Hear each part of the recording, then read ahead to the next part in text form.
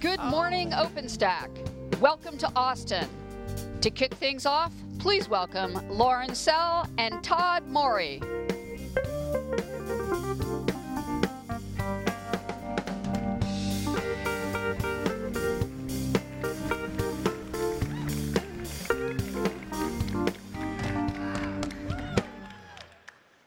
So, good morning. So, welcome to where we started. Welcome to Austin, Texas. In July 2010, there were 75 of us just down the road at the Omni Hotel for the very first OpenStack Design Summit. And this week, we have 7,500 people back here in Austin. Pretty amazing growth. All right, so before we get started, just a couple super quick uh, housekeeping notes. Um, if you got your badge already, um, you were probably handed this uh, handout as well. Um, if you haven't got a badge yet, there will be an opportunity to uh, do so after these keynotes. Um, but uh, check out the handout because it has a lot of useful information. It has maps of our venues, uh, maps of the, uh, uh, the marketplace, um, an overview of the schedule, um, as well as details for getting to our mobile apps. Um, available iOS and Android, um, these are brand new apps, so uh, check them out. They're a fantastic way to build a custom schedule so you can get to all the content that you want to see. So we are in three venues this week. Right now, we're in the convention center, and this is where the keynotes will be today and tomorrow morning. Lunch will also be served here, and then all of the breakout sessions, the presentations and panels are in the convention center.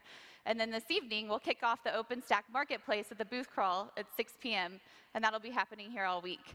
Across the street at the Hilton is where the Design Summit developer working sessions will, take place. So all of the collaborative sessions, the working groups are across at the Hilton.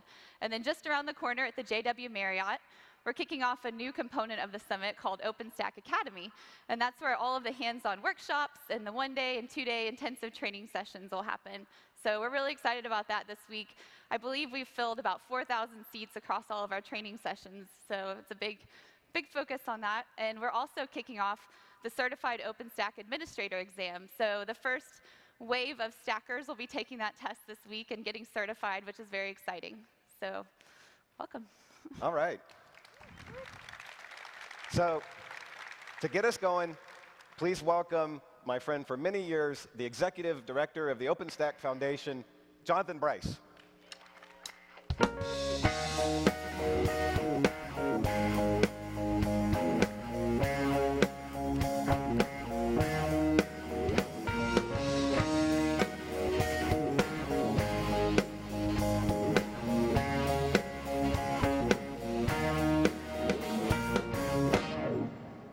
Wow, awesome to see everybody here in Austin, Texas, live music capital of the world. We said we got to have some live music on our keynote stage. So uh, thank you to SoulTrack Mind for joining us. Thanks, Jonathan. Appreciate it, buddy. So Donovan, tell us, tell us who SoulTrack Mind is. SoulTrack Mind, we're a six-piece Austin-based soul R&B uh, original band, and uh, we've had a couple albums out there. Like I said, I mentioned uh, socials earlier. We're on uh, Facebook, Twitter, Instagram, just yeah. SoulTrack Mind. And uh, we've been playing, been together for about six or seven years. We've got new music coming out this year, so a lot of cool. exciting stuff. And, and this morning you are playing in the, uh, the Stacker Barn. Have you guys ever played a barn before? This is Texas. yeah. We've played many a barn. We've, yeah. we've, we've turned up many a barn. cool. And uh, so you're going to be here this morning. You're going to be here tomorrow morning. If people want to catch you out in Austin, do you have any other shows this week? We do. We actually, one uh, Friday is our uh, single release party at the North Door, which is actually just a few blocks from here. So uh, I think it starts at 8 o'clock, and uh, we'll be playing there a good chunk of the night. So Cool. Well, congratulations on that, uh, that release, and thank you for joining us. SoulTrack Mind, everyone. Thanks, man.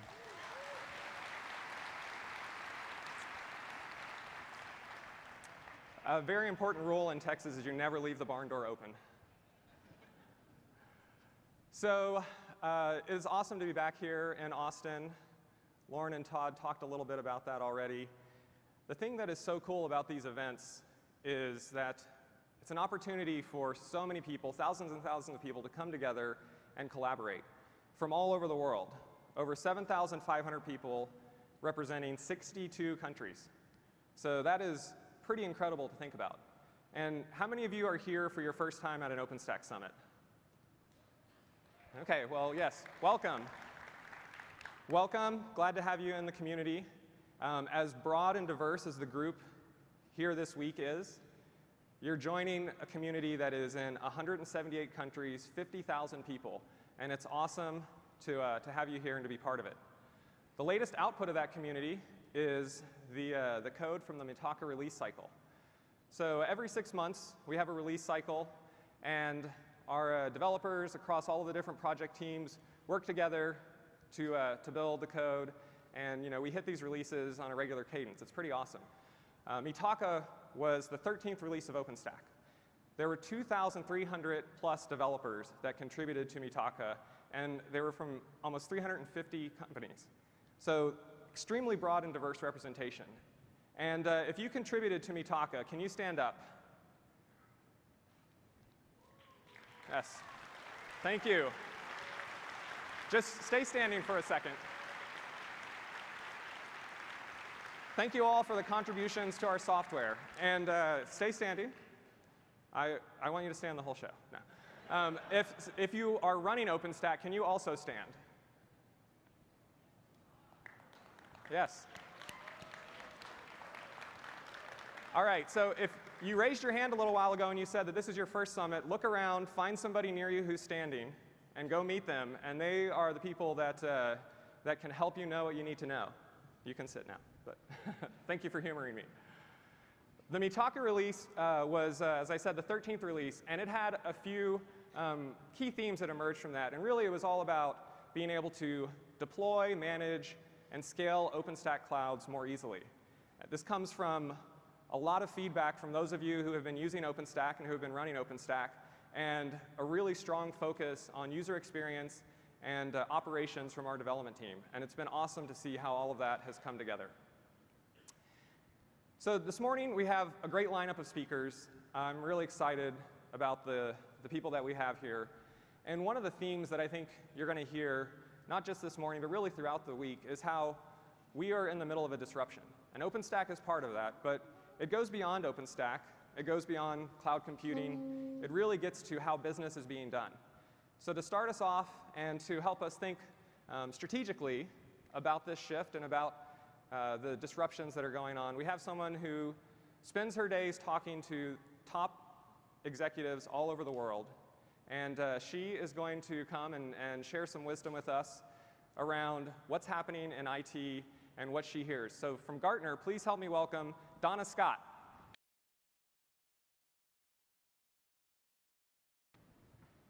So, you know, what, what Donna was talking about was the, the Gartner bimodal IT framework. Some people uh, love it, some people don't love it as much. I mean, it's the truth. But I think that, that um, the reason why I think it's important to put these ideas out there is because it matches up to what we see in a lot of established organizations. And, uh, and you know, we see this over and over where people are trying to figure out how do they handle existing enterprise technologies and at the same time you know, move faster with new agile technologies. And that's kind of you know, the, what, what the framework gets to. We see this over and over and over again with OpenStack users. And you know, this is, again, back to this theme of disruption. When you talk about disruption, a lot of times people focus on the scary parts of it. You know, you better watch out, you're going to get disrupted. And, uh, and that is sometimes how we you know, think about it when we hear that term. But actually, times of disruption are the times of greatest opportunity. If you are able to capture the value in a time of disruption, that's when you can really accelerate your business, when you can create a new market, when you can do incredible things. And so as we go through today, we're going to hear from AT&T, from SAP, from Volkswagen. Tomorrow we're going to hear from uh, a number of companies and also a number of adjacent technologies that are uh, kind of in the cloud native world that are all building a new environment to do this.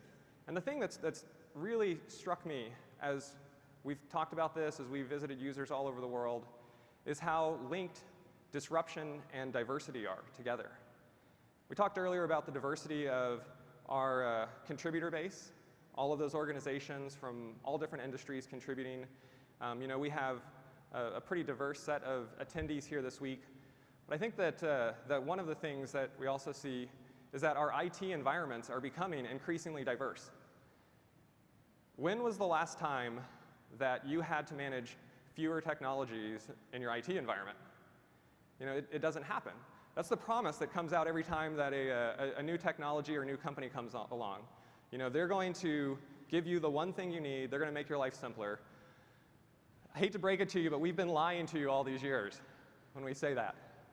You know, all of those technologies end up being additive. You know, they're new capabilities, but you have to maintain the old capabilities. And so, in these times of disruption, you really need a strategy for taking advantage of diversity in IT.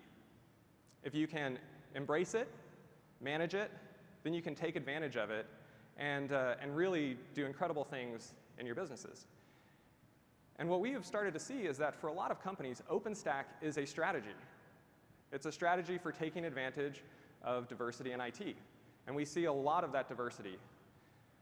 One of the areas that uh, we have seen increasing diversity is in the use cases of people who are running OpenStack.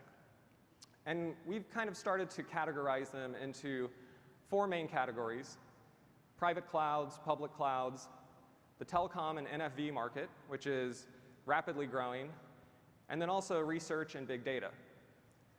And if you go and you dig into each of these categories, you'll see that there are incredible companies from all over the world who are building private clouds.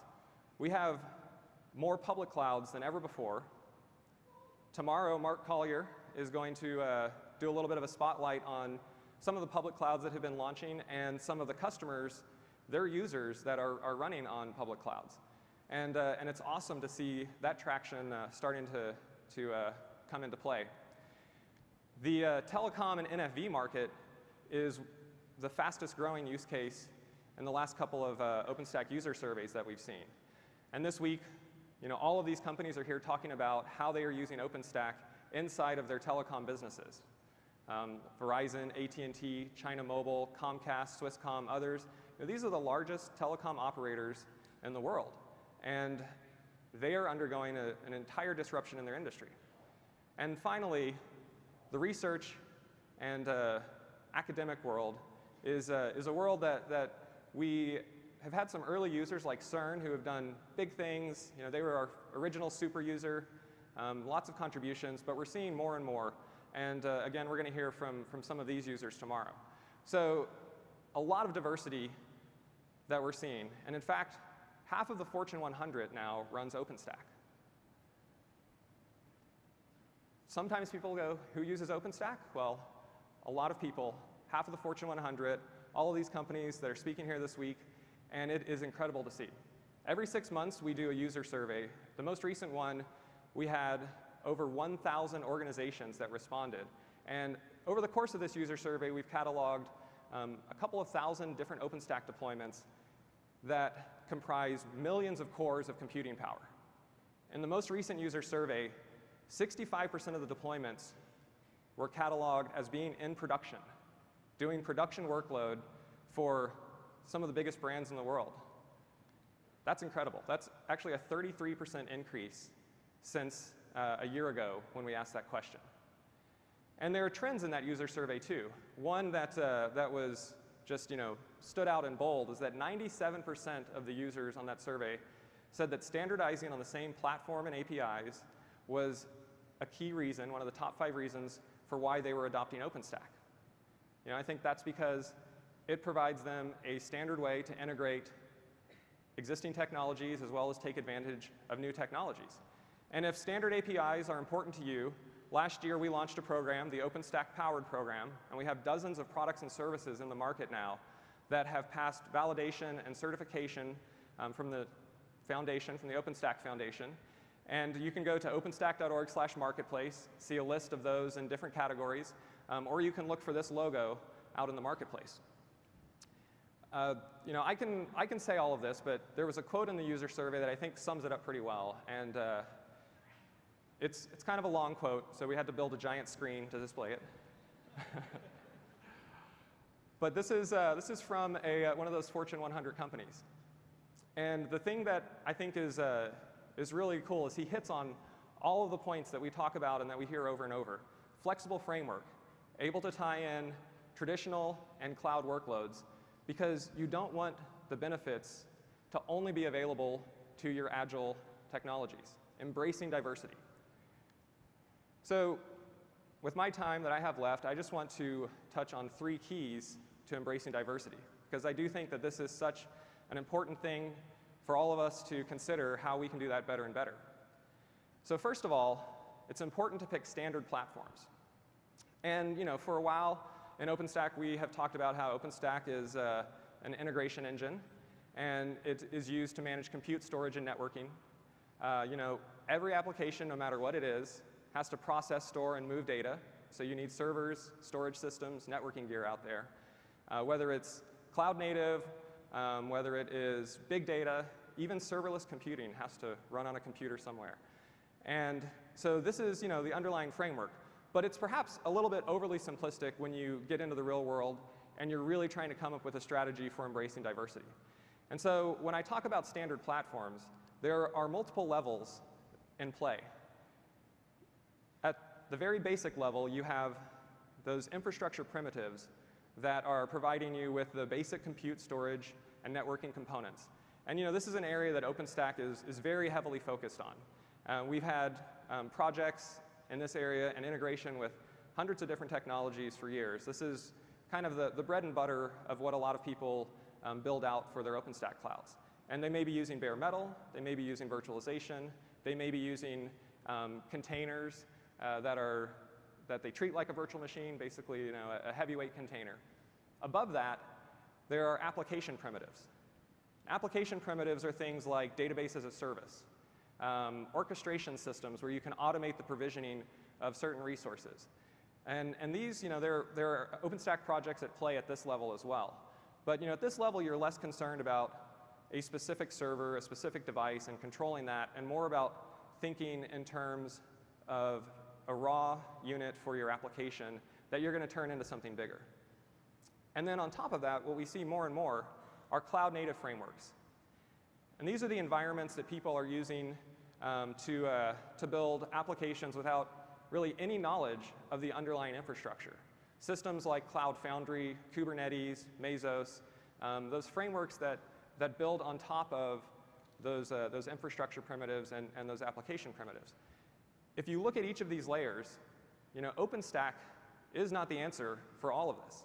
But OpenStack as a flexible framework ties into platforms that are open source, that are standard, that are widely available at all of these layers. And that is what is really powerful is this ecosystem and building a stack uh, that, that, that gives you all of those capabilities. Mark Collier tomorrow is going to do uh, a deeper dive on this and, uh, and look at some of the technologies that we really see having an impact. The second key to remember is that new apps need old apps.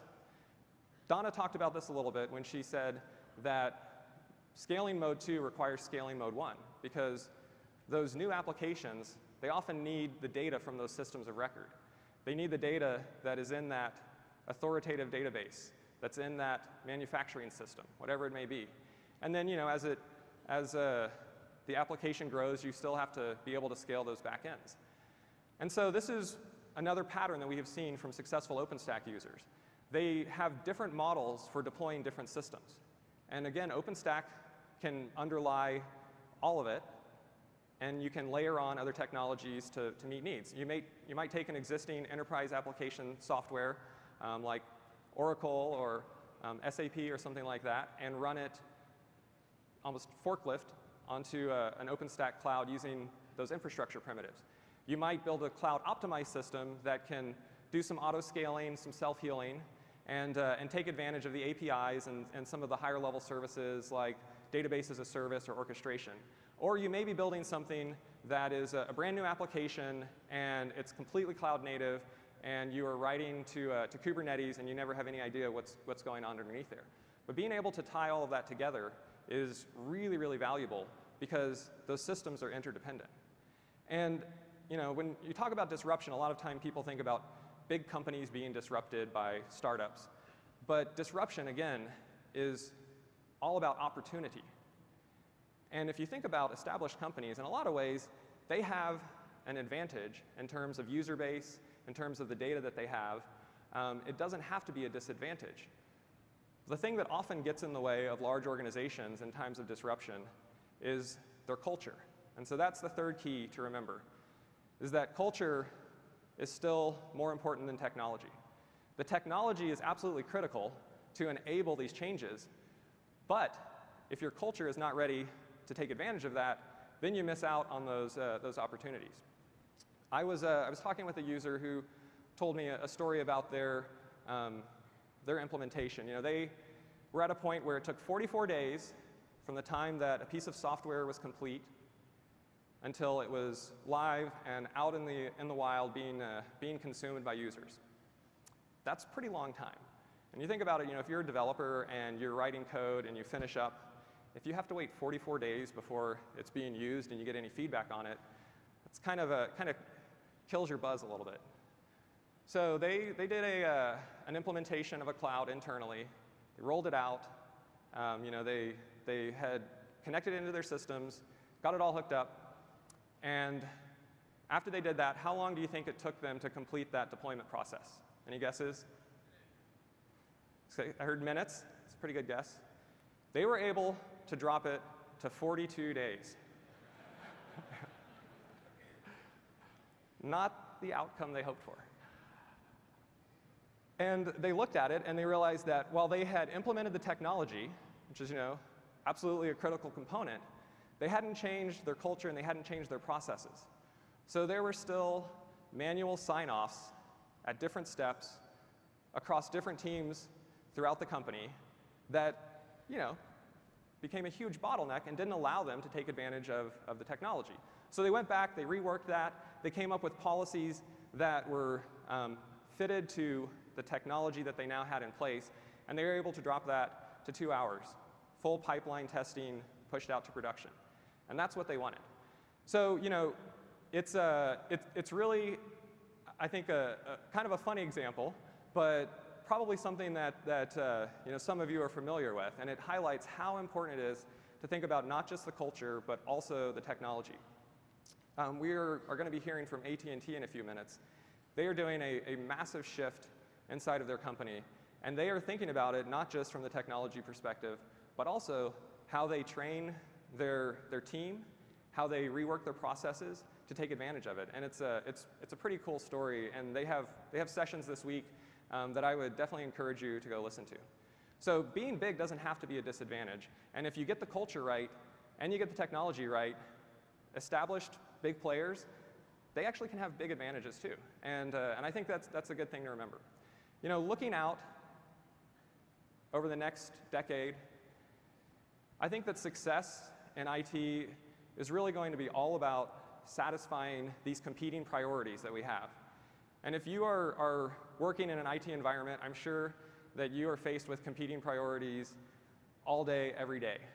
You know, people want things up 100% of the time, but they also want it yesterday, but they want the new feature, but they want the, you know, on and on and on. And you have those competing priorities. And figuring out how to satisfy those is, I think, really what success in IT is all about over the next decade. And I believe that embracing diversity is key to doing that. So over the next two days on our keynote stages here, we're going to be hearing from people in companies of all sizes who are implementing this kind of a vision in their teams across multiple industries. And really, you know, throughout this whole week, that's what, that's what this event is about. And for those of you who are here at your first OpenStack Summit, I hope that what you will find is that this is really a collaborative event.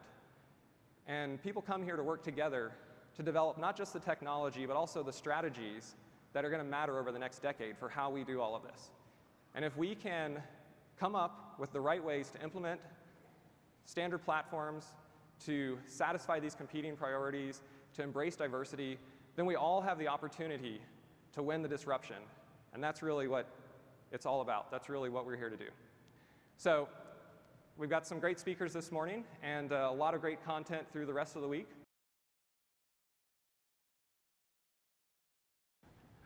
So something that we, uh, we introduced in Paris was the Super User Award that we give away each summit for users who are um, doing really cool things with OpenStack and also contributing back to the community um, you know, for everybody's benefit. And so the way that we do this is we have Super User Magazine. You can see that superuser.openstack.org. And we also have a special print edition here for this summit. And uh, there are judges, an editorial board that help to, um, to collect from the nominees a set of, uh, of, of finalists. And we had a really great set of nominees this time around. Um, there were uh, uh, 10 nominees that were from four different continents.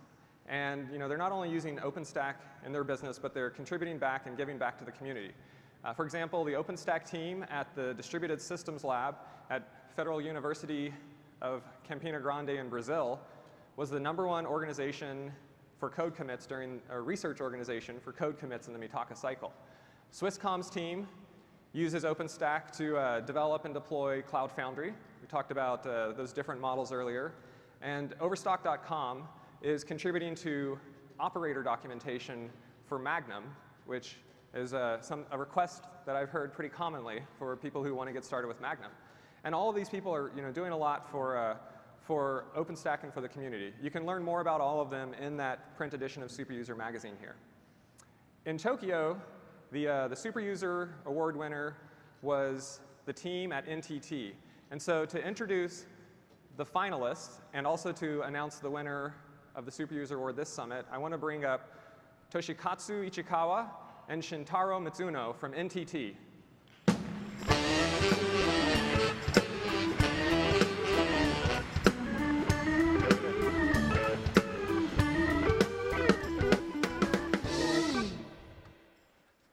Thank you, Jonathan. And good morning, everyone. Uh, my name is Shintaro Mizuno, and this is my colleague Toshikazu Ichikawa. And we represent NTT Group. So we were honored to win the Super User Award in Tokyo last year, and we are very excited to present the Super User Award today here in Austin. So here are the finalists. The first finalist, the first finalist, OpenStack-based integrated cloud is deployed in production at 74 sites globally.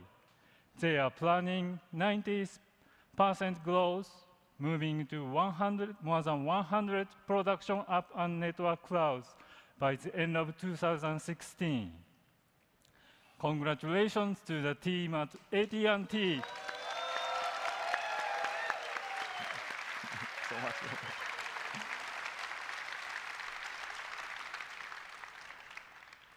So this team is working toward 1,300 hypervisors across two data centers to support around 200 applications, serving more than 120 daily transactions and more than 2.7 billion API calls. Congratulations to the team at Betfair.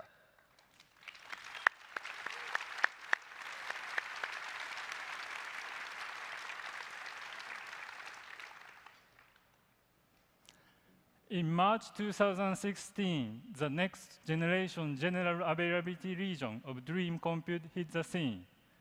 Built to scale with customer demand, it has a utilization of over one terabyte of RAM, more than 700 virtual cores, and nearly 50 terabyte of block and object storage, supporting tens of thousands of customers. Congratulations to the DreamHost team.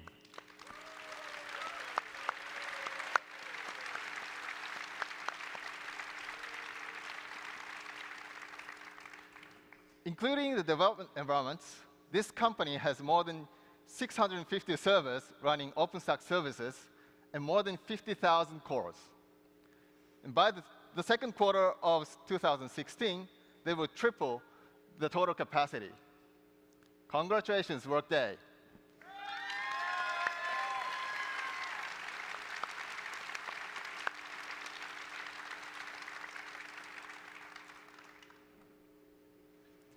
Each of the finalists will be speaking at the summit this week, where you can learn more about their particular use case. And now, we are happy to announce the winner of this year's Super User Award. Drum roll, please.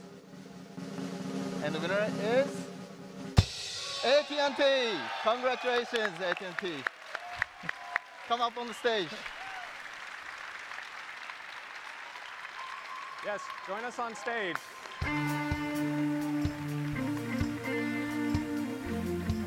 Come on up, AT&T.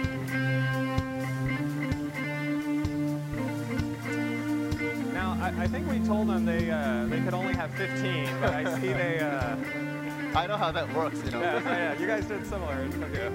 Congratulations. Hey, congratulations. Thank you. Hey.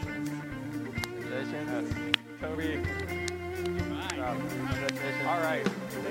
So I think we're going to grab a quick photo here. Thank you. Thank you. Toby, why don't we give you this uh,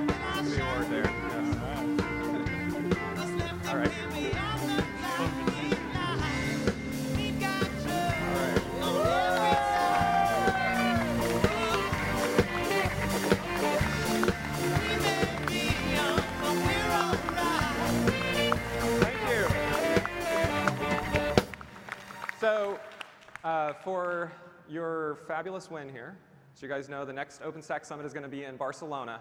And as the winning team, we are sending you guys all on an awesome tour of Barcelona. Barcelona is an incredible city, lots of fabulous architecture, and uh, lots of good food as well. And because we had such amazing finalists, we're actually expanding the, uh, the travel prize this time. So each finalist is getting uh, one of their team members funded to have travel, lodging, um, and their access to the summit funded in Barcelona. So thank you to AT&T and to all of our finalists.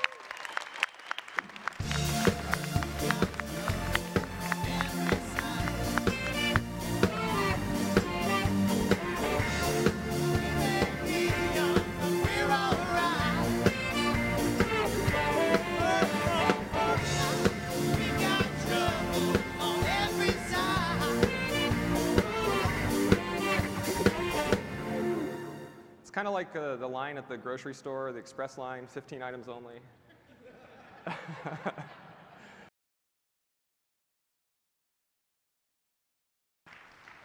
Thank you, Mario.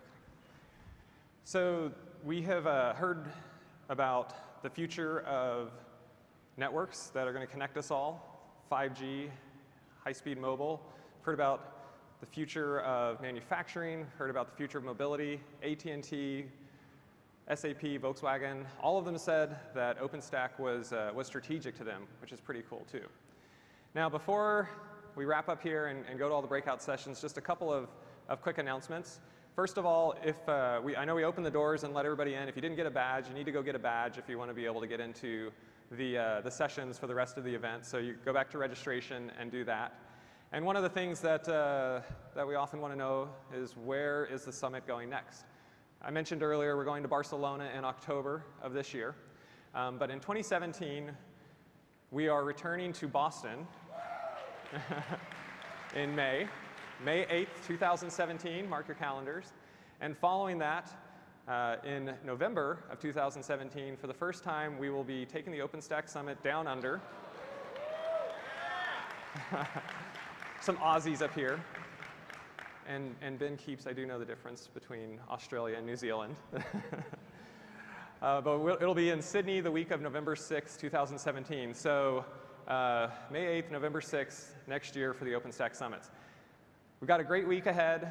I hope all of you are able to, uh, to learn, to collaborate, to meet new people, and most importantly, have a good time with OpenStack. Thank you. SoulTrack Mind, play us out.